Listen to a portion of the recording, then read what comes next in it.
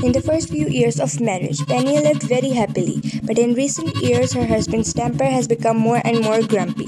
They had a lot of quarrels. Heavy housework and hard work took over Penny's married life. Gradually, her hands became rough and her face became aged. Penny was a freedom seeking, passionate person when she was young. Over the years, she gave up her personal life for her family, but all she reaped was not happiness. The previous diary evoked courage in Penny, and she decided to fulfill the dreams of her youth and live for herself afterward. Penny prepared some necessities, took the money she had saved from her job, said goodbye to her parents and children, and set off. Penny felt freedom after she left home. She went to the bustling Chinatown of San Francisco, drove over the magnificent Golden Gate Bridge, and felt the wonderful world. Penny's car had a little problem after a long drive. The repair shop needed about a day to fix it. Penny decided to stop the journey temporarily to rest in a nearby town. Gradually, Penny began to adapt the new life, traveling alone, and her clothes became more and more fashionable. During the trip, Penny became more confident and loved herself. Penny wasn't very familiar with the town as it got late. She decided to fulfill her stomach first. Repairing the car had cost a fortune before, so Penny found a cheap restaurant. Penny came in and heard someone sobbing softly. Seeing Penny, Margaret immediately wiped her tears and greeted her. The kind Penny couldn't help but ask about the situation. The family blamed her, but strangers cared about her. Margaret told Penny of her stress and pain. Penny tried her best to comfort her until Margaret smiled.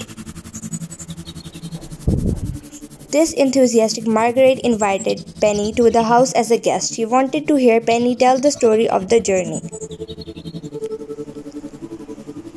When they got home, they found that the more they chatted, the more speculative they became. The two had many similar interests. This excited Penny and Margaret. Penny couldn't resist inviting Margaret. She hoped that Margaret would care more about herself, that trying another life might lead to a new meaning in life. The garage called the next day and told Penny the, co- the car was repaired. When the two separated, Penny told Margaret the location of the repair shop and the time of her departure.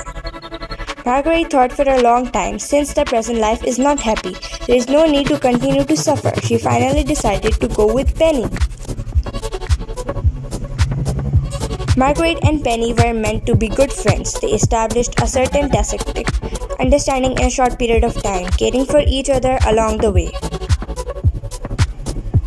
They went to Las Vegas to experience the hustle and bustle of the bustling city.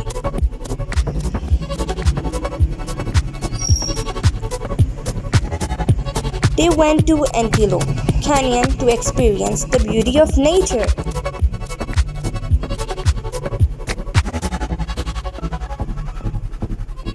They also went to the San Antonio pedestrian street to try the laid back life of the small town.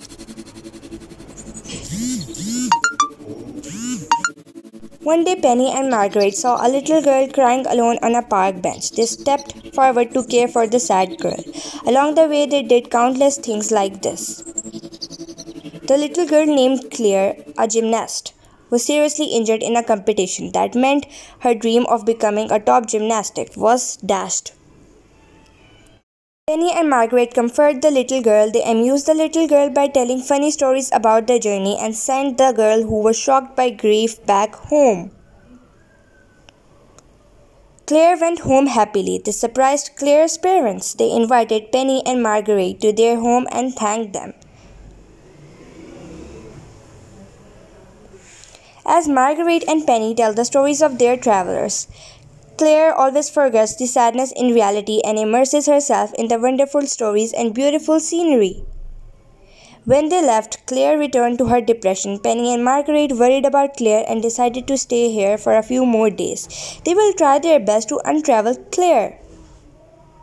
After the accident, Claire's parents tried everything, but they couldn't get Claire back on her feet. Claire's parents realized this might be an opportunity not to be missed. Claire's parents had a long conversation with Penny and Margaret and then they decided to let Claire travel with them. Hope she can rediscover the meaning of life in her journey. Stories to be continued. So till then, bye bye.